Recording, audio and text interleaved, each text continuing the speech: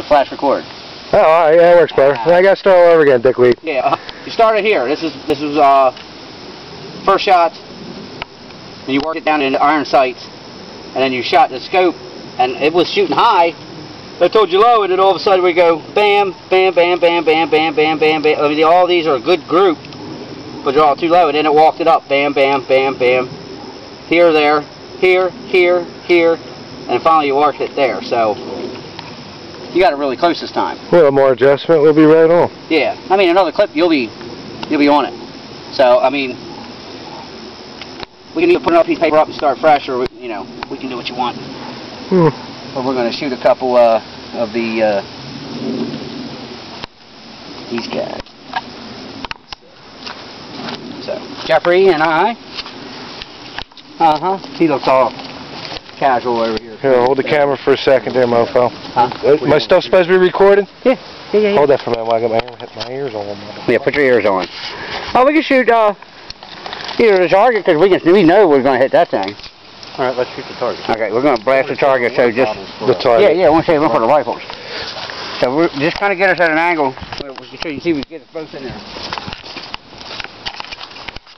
We got the Kimber and the old faithful standby Colt. Ready? One after the other. Okay. Ready? Yeah.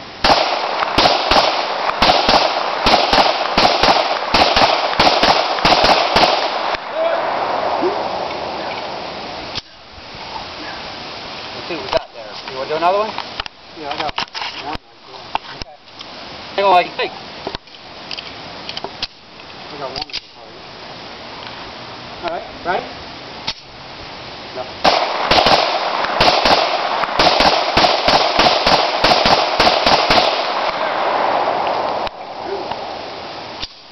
Let's see what we got, Mike.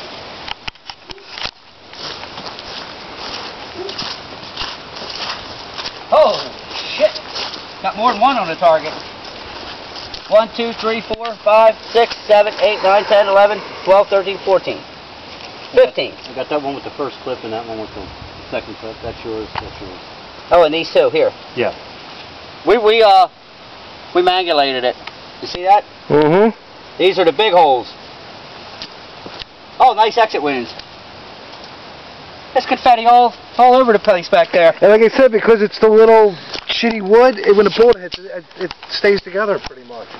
Yeah, I can't believe that thing didn't fall over yet. Yeah, definitely he hit the, I'm positive he hit the edge of it that first shot. Wow. That's pretty good there. I I'm going have to make a couple of them.